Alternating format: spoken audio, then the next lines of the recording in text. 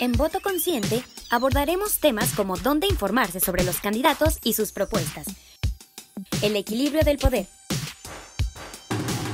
voto femenino millennial. Todo esto de la mano de expertos. Esto y muchas otras cosas más en Decídete. No te lo puedes perder.